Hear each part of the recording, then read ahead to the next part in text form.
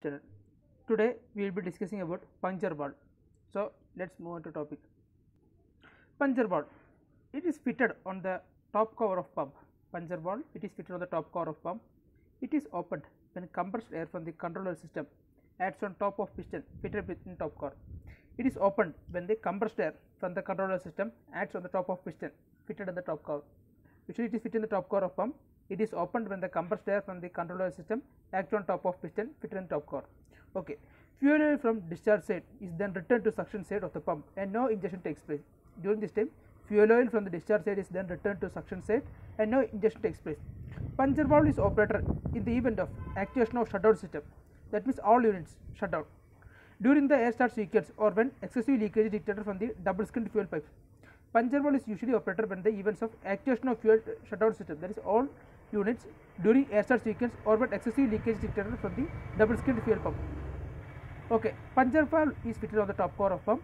It is opened when compressed air from the controller system act on top of piston fitted in the top core. Then fuel oil from the discharge side the is then returned to the suction side of pump and no injection takes place. And puncture valve it is operated in the event of activation of shutdown system that during the air start sequence or when excessive leakage is detected from the double skinned fuel pipes. And the puncture valve consists of piston which communicates with the controller system of the engine. Puncture valve consists of piston which communicates with the controller system of the engine. In the in the event of activation of shutdown system, when the stop is activated, compressed air causes piston with the pin to be pressed downward and the puncture oil flow to, to the fuel valve. Okay. In the event of activation of shutdown system, when we stop, when the stop is activated, compressed air causes piston with the pin to be pressed downward and puncture the oil flow fuel valve. As long as the puncture valve is activated, fuel oil is returned to the pipe to the pump housing and no injection takes place. Okay, as when the fuel valve is activated, fuel oil is returned through the pipe and pump housing and no injection further no injection takes place. Okay, puncture valve consists of piston which communicates with the controller system of the engine. When we in the event of activation of shutdown system, when the stop is pressed, then compressed air causes piston with the pin to be pressed downward, so that puncture it will puncture the oil flow to the fuel valve. As long as puncture valve is activated, fuel is returned to the pipe to the pump housing and no injection takes place.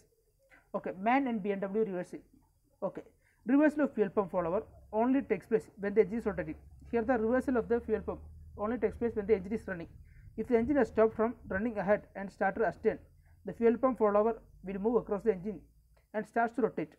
When the engine has been stopped from running ahead and started from astern, the fuel pump follower will move across the engine and starts to rotate before fuel is admitted by winding the fuel pump via a puncture valve.